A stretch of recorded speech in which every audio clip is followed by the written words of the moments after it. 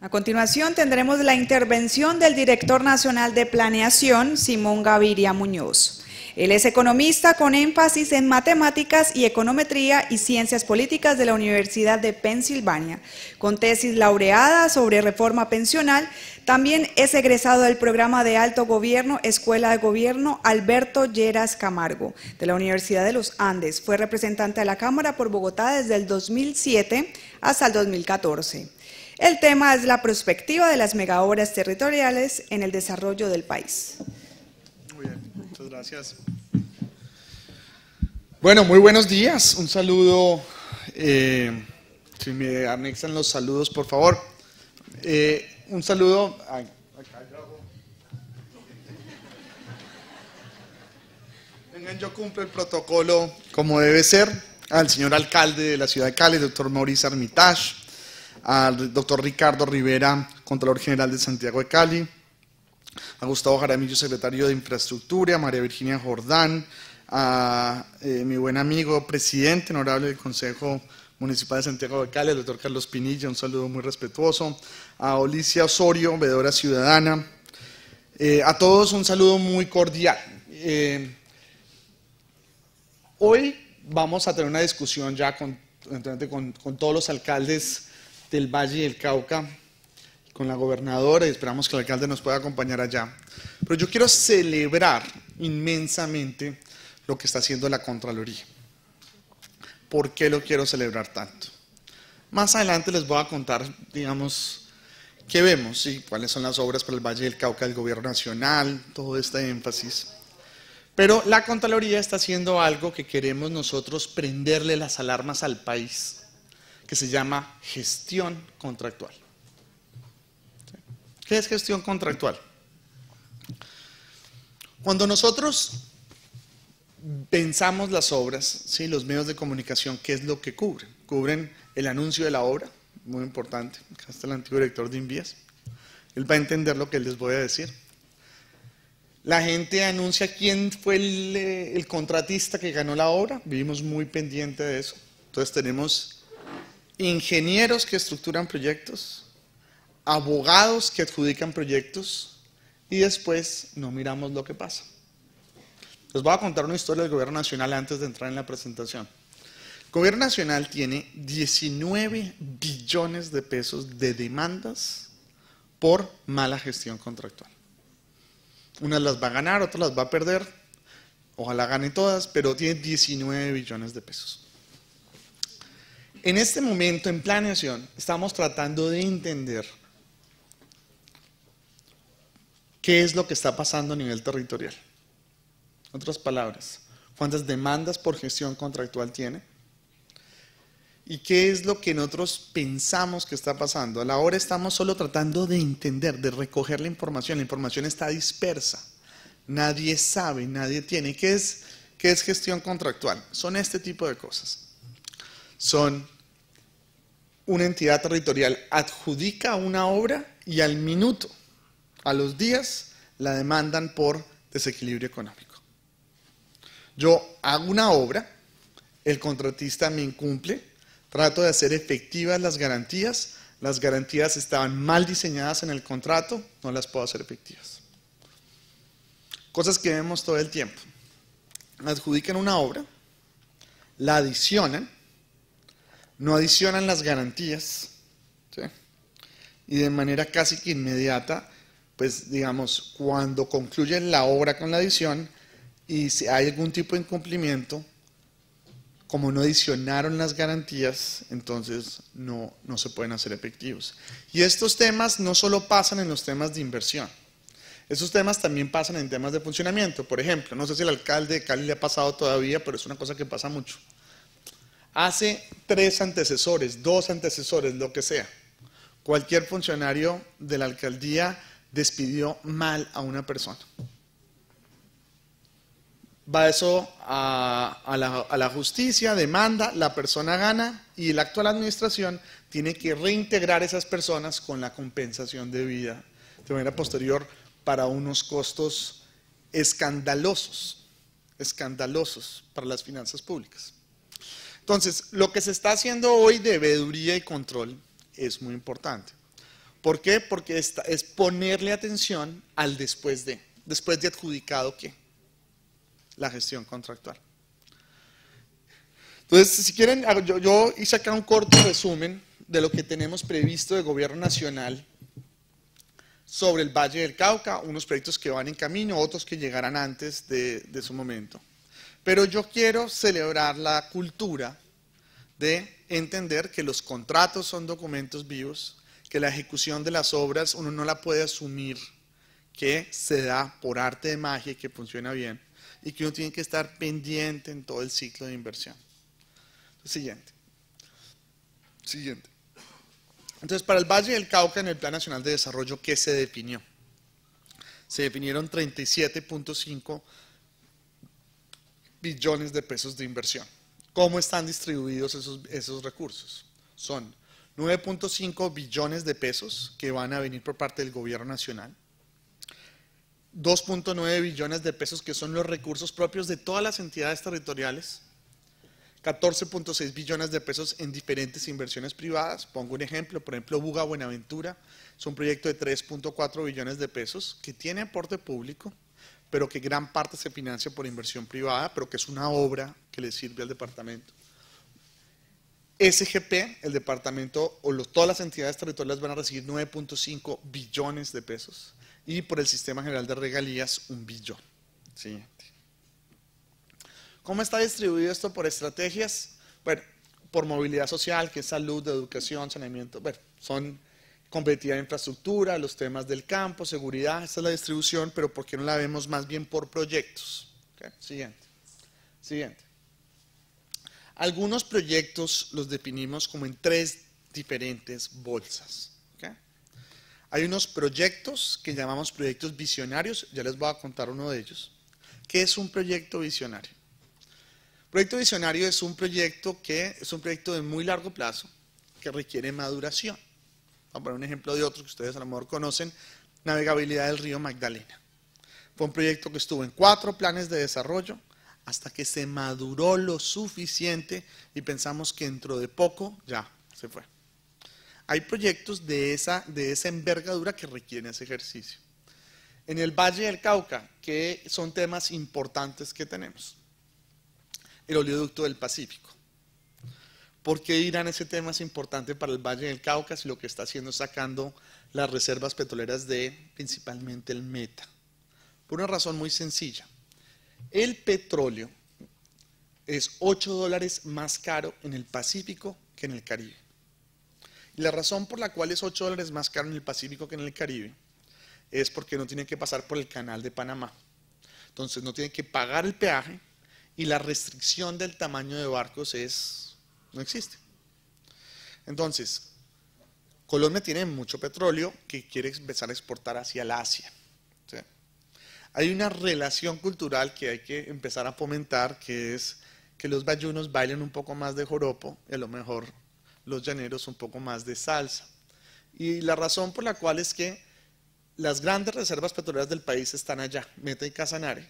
Si las pudiésemos mandar hacia el Pacífico a través de este oleoducto, ampliar sus capacidades y fortalecer las industrias petroquímicas y relacionadas con derivados de hidrocarburos sería especialmente importante para esta región. Siguiente. Si hiciéramos una cosa aún más osada, ah, pensando en visionario, que no solo el oleoducto del Pacífico sacando las reservas petroleras del Meta, sino en algún momento de la vida, donde ya hay tres diferentes borradores de proyecto pudiéramos que ese oleoducto del Pacífico se conectara con las reservas petroleras de Venezuela, donde sí hay mucho petróleo. Y Colombia sacar las reservas petroleras de Venezuela directo al Pacífico. La, riqueza que crearíamos nosotros sería indescriptible. Eh, eso es un proyecto que nos, nos pondría como el papel que tiene Ucrania entre Rusia y Europa, que es por donde pasa todo el gas de Europa. Hay, naturalmente, muchas, eh, hay proyectos de interés nacional estratégico, que son proyectos, bien sea públicos o privados, pero de una envergadura tan importante que se les da un trámite especial. Se les pone atención, se les ayuda en la consulta previa, se les pone atención de predios, son, eh, por ejemplo, la malla vial del Valle del Cauca y Valle del Cauca, Pereira La Victoria, Lobo Guerrero Mulaló, la iniciativa privada vial Buga Buenaventura, que es de mucha importancia, no solo para el valle, sino para el país. Siguiente. Este proyecto es, empezó como visionario, ahora va como PINE, pero creo que dentro de poco va a ser una realidad. Es un proyecto que más adelante, más adelante, esperemos estar acá con la gobernadora, con el alcalde de Buenaventura, y ya poder contar esta historia con mucho más detalle, pero les doy un abrebocas. Es el proyecto de la nueva ciudad en Buenaventura. Un proyecto de la nueva ciudad en Buenaventura tiene mucho sentido. Buenaventura es importante no solo para el valle, es importante para el país. Mientras Chile tiene nueve puertos y Perú tiene cinco, Colombia tiene uno en esencia que es Buenaventura. Por aquí pasa 40% de los containers de Colombia. No solo eso. No es solo importante para el comercio con Asia, es importante para la relación que tenemos que tener con toda la Alianza del Pacífico. Cuando ustedes miran los patrones de comercio de Colombia, Colombia en esencia tiene comercio con el este de Estados Unidos, con la Florida, con Luisiana, con Nueva Inglaterra, con Carolina del Norte, con Nueva York, pero no tiene comercio con el oeste de Estados Unidos, con California, con Oregon, con Washington. ¿Cómo funciona este proyecto? Rápidamente es reconocer, reconocer que hay unas cosas que hace el gobierno nacional mejor que el sector privado. ¿Cuáles son esas cosas? Poquitas, pero las hay. Primero, ¿qué estamos haciendo ya puntualmente? Entonces, en dos semanas adjudicamos una licitación que se llama la de catastro multipropósito. Catastro multipropósito, ¿en qué nos va a ayudar? Yo digo catastro, la gente piensa impuestos, pero esto es diferente. Catastro multipropósito va a permitirse unas facultades a través de las cuales yo sobre terreno voy formalizando predios. En Colombia, porque tengan un sentido de proporción, Colombia tiene 15.7 millones de predios, 4.1 millones de predios rurales, solo el 21% tiene título. Entonces, si yo hiciera un ejercicio de catastro multipropósito nacional, yo tendría la posibilidad de dar dos millones de predios a campesinos que tienen tradición, pero que no le hemos titulado. Si yo hago catastro multipropósito en Buenaventura, ¿qué entrego primero? Seguridad jurídica sobre la tierra. Segundo, en diciembre licitamos algo que se llama el programa de POTs modernos para hacer el POT de Buenaventura, con los mejores expertos mundiales, de manera participativa con las comunidades, eh, para poder hacer un diseño del más alto nivel excelente de cartografía de Buenaventura. Entonces, doy certeza jurídica en los títulos y en el POT. Tres, a través del contrato plan del Valle del Cauca que venimos trabajando con la gobernadora, hay una infraestructura detonante, unos recursos que vamos a invertir, que vamos a poder armar de tal manera que podamos desarrollar por lo menos 1.900 hectáreas en Buenaventura. Hoy Buenaventura tiene 1.700.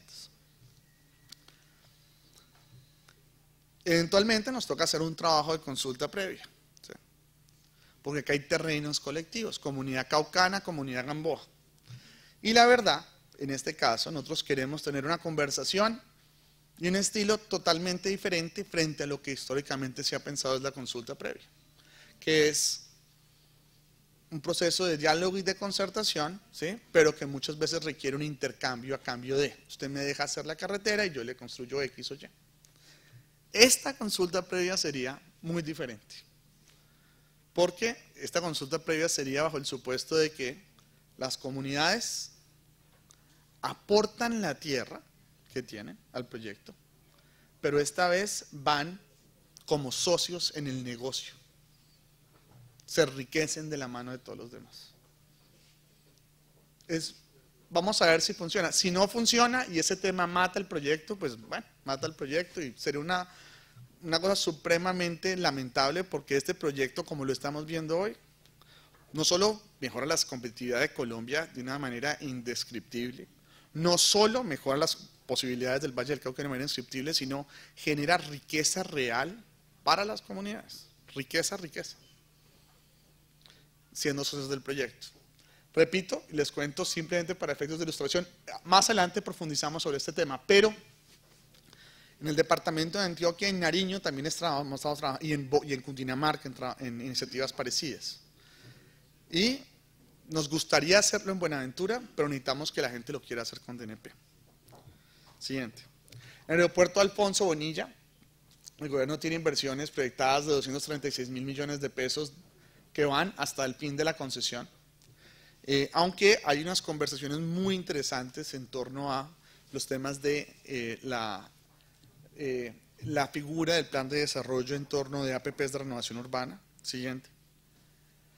Tenemos otras vías también muy importantes, principalmente Cali Candelaria, eh, por un valor de 20 mil millones de pesos, y Lobo Guerrero Citronela, que es fundamental para sacar adelante todo el complejo de la cuenca eh, Bogotá-Buenaventura, por 231 mil millones de pesos.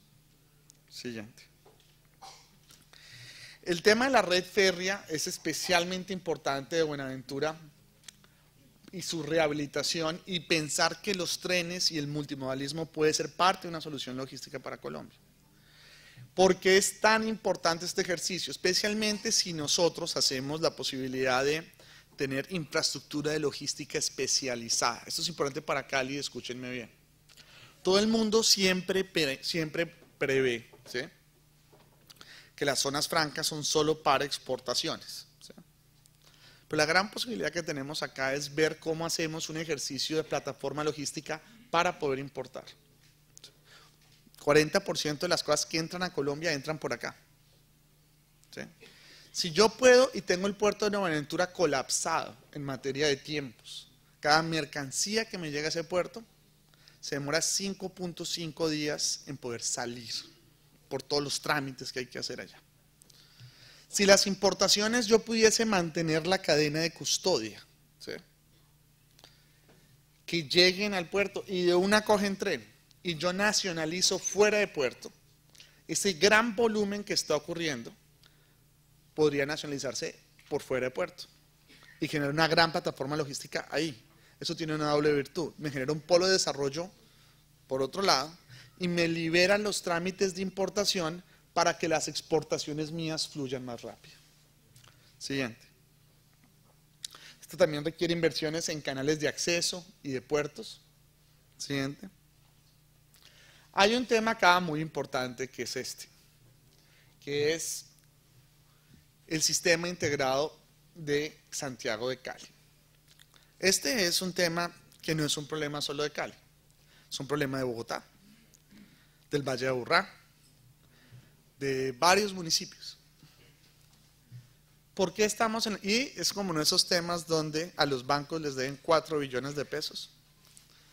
Entonces ya se volvió un problema de todo el mundo. La pregunta acá es: ¿cómo empezamos a resolver esto? Listo. Entonces, primero veamos cómo llegamos a este problema. ¿Cómo llegamos a este problema en el 2002, 2003? Colombia construyó, por el éxito de aquella época de Transmilenio, construyó lo que llamamos los modelos de transporte. Modelo proyectando cuánta gente iba a montarse en transporte público. A través de ese tiempo, a través de esos modelos que construyeron en esa época, en esencia los modelos no se materializaron. Y la demanda, con la excepción de Transmilenio, en las demás ciudades, la demanda no llegó. ¿Por qué no llegó? por temas estructurales y por temas de gestión. ¿Cuáles son los temas estructurales?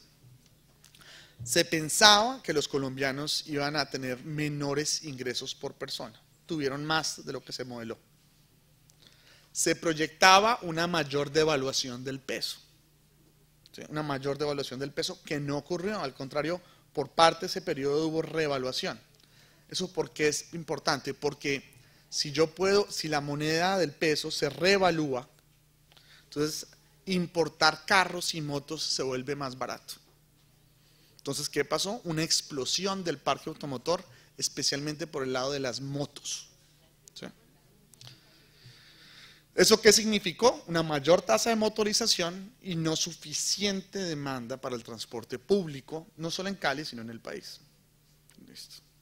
Entonces, como primer tema estructural. Segundo tema, la concepción de los, digamos, de este ejercicio cometió unos errores que estamos empezando a corregir. ¿Ok? ¿Cuál fue el error? El error fue que la tarifa, el tiquete, es para la operación. ¿Qué decidieron hacer en aquella época? Montarle a la tarifa cosas que no tienen que ver con la operación. Entonces, ¿qué hicieron? Yo quiero hacer los patios, yo quiero hacer las vías, yo quiero hacer... Y entonces yo se lo tiro a qué? Se lo tiro al tiquete, no se lo tiro a, a inversión. ¿Qué significó eso? Como yo tenía que pagar las obras con tiquete, eh, acabamos con tiquetes muy costosos.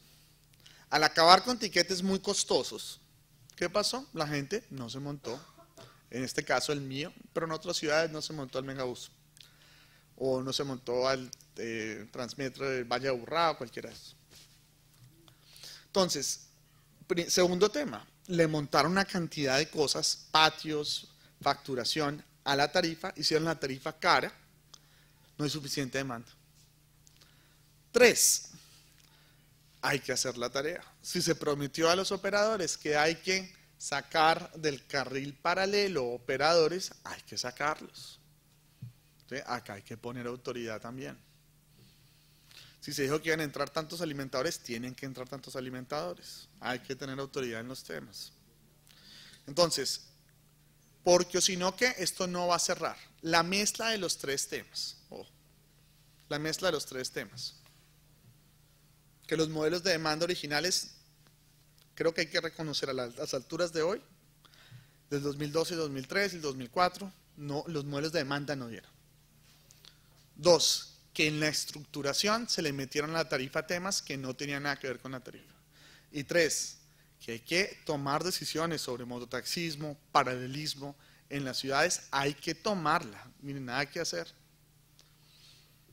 Y el beneficio es que buen transporte público. Si no, ¿en qué acabamos? Acabamos en, un, en, una, en una espiral de destrucción que es para poder cerrar caja hay que subirle el valor al tiquete. Cada vez que le subimos valor al tiquete, se nos baja más gente.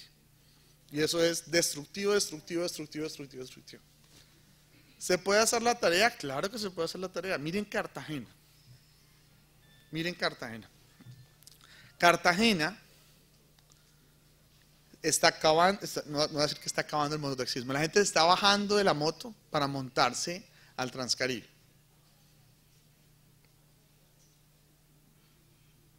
¿Y por qué lo está haciendo? Porque es una tarifa razonable, porque tomaron las decisiones que eran difíciles de tomar, pero se tomaron y el tema está fluyendo bien.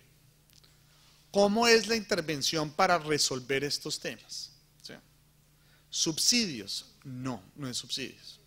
Colombia ha tratado de hacer subsidios en el pasado. Hasta los 80 hubo subsidios para transporte. ¿Cuál fue lo que acabó pasando?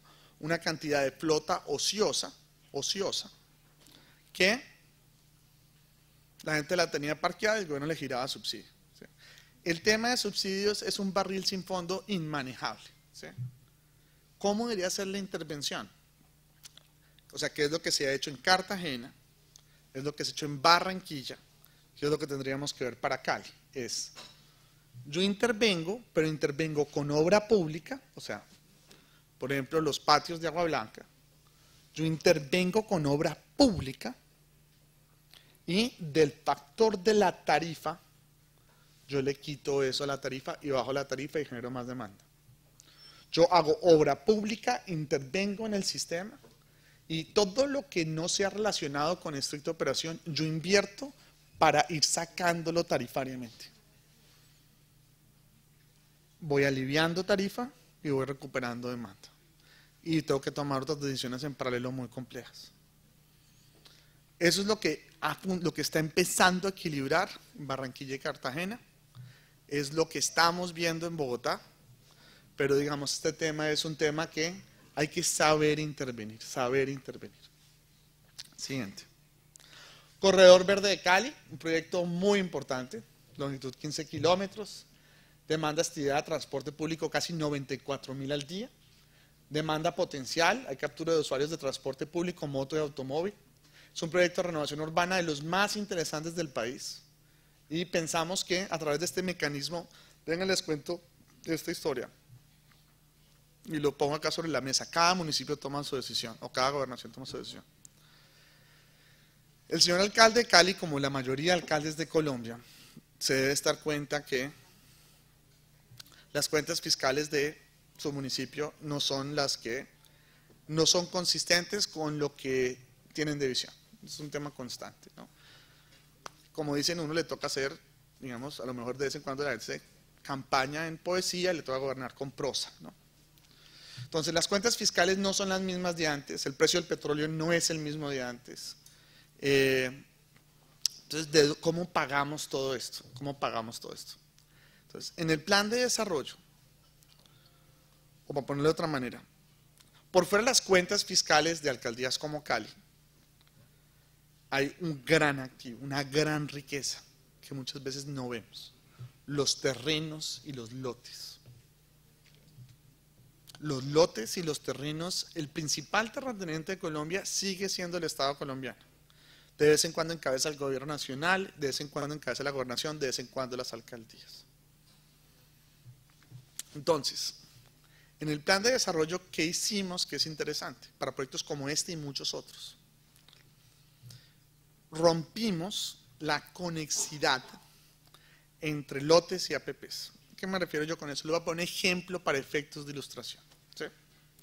Entonces, no hay reversión de la infraestructura después del APP. Entonces, Bogotá, voy a poner un ejemplo de Bogotá que es fácil. En Bogotá hay dos principales cárceles. Una se llama La Modelo y otra se llama La Picota.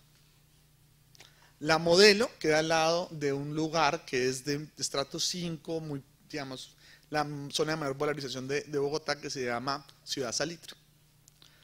La Picota queda en una localidad que se llama Ciudad Bolívar, que es una ciudad relativamente humilde. Pero tenemos un problema de cárceles en Bogotá. Pero no hay plata para hacer más cárceles. No hay plata. ¿qué, estamos, ¿Qué está pensando hacer Bogotá con las facilidades que le dimos en el plan de desarrollo? Al lado de la picota hay un lote. Entonces, ¿qué estamos diciendo? Construyame usted una nueva megacárcel más grande, con mejores especificaciones, más humana, que trate mejor también a los prisioneros. Que sea más segura. En el lote al lado de la picota. Y yo, constructor privado, le entrego a usted el lote al lado de Ciudad Salitre. Que usted haga edificios, centro comercial, lo que usted quiera, pero entrégueme a mí mi infraestructura. ¿Quién gana? La ciudad tiene ahora mejores cárceles, amplía su capacidad, un dato más digno, un dato más humano. Recibe, cambia un activo por, un mejor activo. El constructor mirará a ver qué hace allá, se hace centro comercial, lo que quiera pero le cuesta cero al distrito o cero a la nación, dependiendo de, qué tipo de proyecto sea. Esos temas de lotes, la construcción de inventarios de lotes, por ejemplo, todos esos lotes de estupefacientes que tenemos por acá, podríamos hacer cosas muy interesantes con ellos, como lo estamos viendo para otras ciudades como. Siguiente. La conexión Cartago, circuito de la Virginia San Marcos, de redundancia energética para el departamento. Siguiente. El plan Todos Somos Pacífico, que principalmente atiende Buenaventura, eh, en el pasado esto no, digamos, hay tantos retos que tenemos en, esta, en, esa región del Valle del Cauca, que el énfasis central de esto es resolver dos problemas. Y después vamos resolviendo los demás problemas, pero cuando uno hace todo al mismo tiempo acaba haciendo nada, es agua y energía. agua 24 horas al día con cobertura y energía todo el tiempo o energía y de manera limpia. Siguiente. Macroproyectos en Altos de Santa Elena, Cancali, de desarrollo urbano, construcción de 5.000 soluciones de vivienda. Siguiente. Y otros proyectos. Siguiente. Siguiente. Ahora, esa era una introducción, pero ¿qué son los temas críticos? ¿no? Entonces en Cali yo no tengo, yo miro son regalías, entonces en Cali yo tengo un buen manejo de regalías, digamos, no, no tenemos ningún proyectos críticos, no, no tenemos ningún inconveniente. Pero les quiero mostrar cómo son los retos del Valle del Cauca en algunos proyectos. que creo que pueden ser útiles en efectos de ilustración. Siguiente. Entonces, este es, en el día de ayer hicimos unas reflexiones. ¿sí? Planeación nacional no es la Contraloría, no es la Fiscalía, yo no puedo sancionar a nadie. Lo máximo que yo puedo hacer es dejar de girar plata. ¿sí? Pero la otra cosa que yo puedo hacer es poner en atención de la opinión pública cuando tengo proyectos críticos. ¿Qué son los problemas que estamos viendo para efectos de esta conversación? Más o menos la mitad de los proyectos críticos tienen una cosa en común no se prevé la sostenibilidad y la funcionalidad. ¿A qué me refiero yo con eso? No significa que se roban la plata. Imaginémonos que vamos a hacer un colegio, vamos a hacer un hospital. Y efectivamente yo contrato un colegio y contrato el hospital. Hago todo lo que tengo que hacer bien. El cascarón queda bien hecho. Y después se me olvida que yo tengo que hacer. Si voy a hacer un colegio necesito profesores, necesito tableros, necesito el funcionamiento lo tengo que tener garantizado. Si hago un hospital, necesito médicos, dotación médica, tengo que tenerlo bien garantizado. Eso es lo que tienen ahora muchos de los retos que tenemos en este momento. Siguiente. Esta es la distribución de proyectos críticos. Siguiente. Pero ¿qué es la importancia de esto? Coger los problemas a tiempo. Coger los problemas a tiempo. No, porque muchas veces, especialmente le quiero hacer esta reflexión al Contralor, siempre pensamos que una buena Contraloría es la que castiga a alguien, sanciona a alguien, la que no me genera sanciones disciplinarias. Y muchas veces cuando ocurre eso, eso ocurre es después de que el daño está hecho. Después de que el daño está hecho. Y eso no es el control fiscal, pero es importante que, el, digamos, con los retos de corrupción que tiene el país, pues digamos, hagan consecuencias. Y hay un problema que tenemos que no tenemos suficientes consecuencias en el país. Lo que nos gustaría ver es que se hagan los proyectos. Coger los problemas a tiempo significa que los podemos enderezar en camino. El espíritu de este ejercicio que hacemos nosotros es, de los 208 proyectos, enderezar. 67% están en ejecución. Y me gustaría hacer una segunda reflexión. Eh, ¿Qué es esta. De los proyectos que tienen problemas, 75% de ellos tienen una cosa en común. Falló la interventoría o la supervisión. En esos proyectos críticos nos gastamos, o las entidades territoriales se gastaron 45 mil millones de pesos contratando consultorías de interventoría o supervisión. Yo creo, y si me permiten decirlo acá, es hora de tener una conversación, una discusión sobre qué tanto valor agregado nos están dando nuestras interventorías y la supervisión. Hago la reflexión, nos encarece todo, nos cuesta 10% más para todas las obras que hacemos. ¿Qué escucha uno muchas veces? Para decirlo. Muchas veces los funcionarios tienen tanto temor a la Contraloría, la Procuraduría, la Fiscalía, la Auditoría, no sé que simplemente contratan al interventor para decir, miren, yo contraté, pero el interventor no me dijo nada. Y se vuelve más un trámite de protección frente a entes de control que valor agregado genuino a los contratos. Sabemos que el 75% de los casos, las obras que salieron mal, era porque tuvieron deficiencias en esto. ¿Y qué pasa cuando el poder de la interventoría? La interventoría es privada. El conocimiento de gestión contractual queda en manos de un tercero por fuera de la entidad. Y si esa información falla, ¿cómo voy a hacer gestión contractual? Eso es un debate que hay que tener un poquito más intenso. Siguiente. Siguiente. Entonces, los proyectos críticos. Siguiente. Siguiente. Ahora veamos Valle del Cauca. ¿Qué problemas tenemos acá? Municipio de Trujillo principalmente tenemos la rehabilitación de las vías del municipio, tenemos dos proyectos. En Findeter tenemos un reto muy grande que es el malecón de Buenaventura por 27 mil millones de pesos. Tenemos uno donde el ejecutor empezó siendo el Valle del Cauca, después por razones de estampillas se pasó al departamento del Cauca, eh, por 15 mil millones de pesos de pesca. Eh, la Universidad Nacional de Colombia, el incremento de la competitividad sostenible en la agricultura heladera en todo el departamento por 15 mil millones de pesos. Y la construcción del parque lineal etapa 1, Calima, Valle del Cauca. Siguiente. Acá está ya el detalle de cada uno de los temas de que por qué no han salido bien. Por ejemplo, en Calima Ariel, este era un ejercicio turístico, digamos que ha un impacto, uno podría decir hasta en Cali. Se realizaron modificaciones a los diseños inicialmente formulados y aprobados sin ser tramitados frente a LOCAT. Durante la etapa de ejecución, el contratista hace entrega de planos modificados, actividad que debería estar finalizada antes de iniciar iniciaron el proyecto sin licencias ni permisos. El proyecto se encuentra suspendido desde el mes de febrero del 2016. No se tiene claridad sobre el porcentaje de avance de ejecución física del proyecto. En el sector de I no tiene la operación garantizada.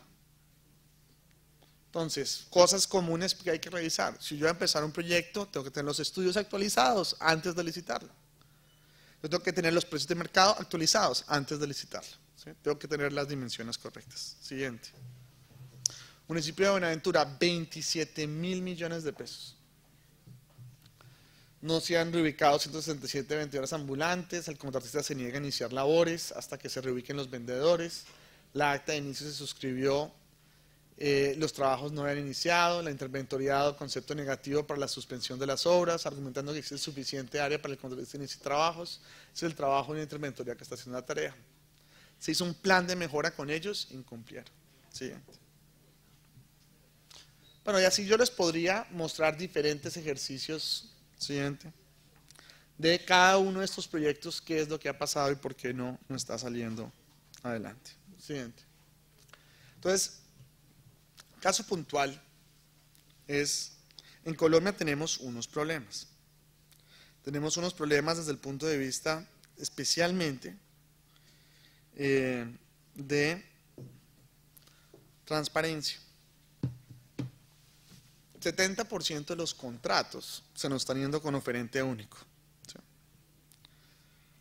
Se nos están yendo con oferente único. Y bajo ese orden de ideas, bajo ese orden de ideas, tenemos que hacer mucho más para luchar contra los temas de corrupción en la contratación pública del país, especialmente los temas de oferente único. 70% de los contratos acaban de esa naturaleza. ¿Cómo se resuelve eso de verdad? ¿Cómo se resuelve eso de verdad? Eso es, eso es lo más fácil de resolver, curiosamente. ¿Qué no hacer? Caer en, pues, respetuosamente hago la sugerencia, Colombia lleva 50 años haciendo campañas de moralización esperando cambiar el corazón de la gente, que encuentren la Virgen María, pero con poco eh, eficacia. ¿Cómo se resuelve esto de verdad?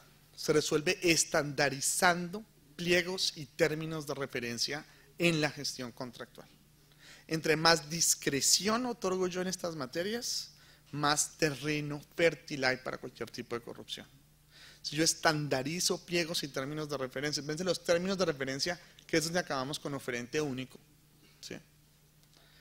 Eh, podemos nosotros generar procesos competitivos que nos generan mucha mejor o contratación y obra pública de prestación de servicios.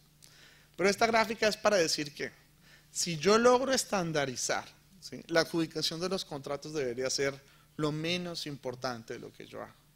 Lo más importante en el ciclo de inversión que yo hago es, yo tengo una buena planeación, una buena estructuración de proyectos. Yo adjudico en un proceso estandarizado. Y de ahí para adelante, yo le tengo que gastar el tiempo a algo que es valor agregado en materia de gestión contractual. Y por eso creo que el evento es tan importante. Eh, si me permiten eh, decirlo, un último tema. No, un último tema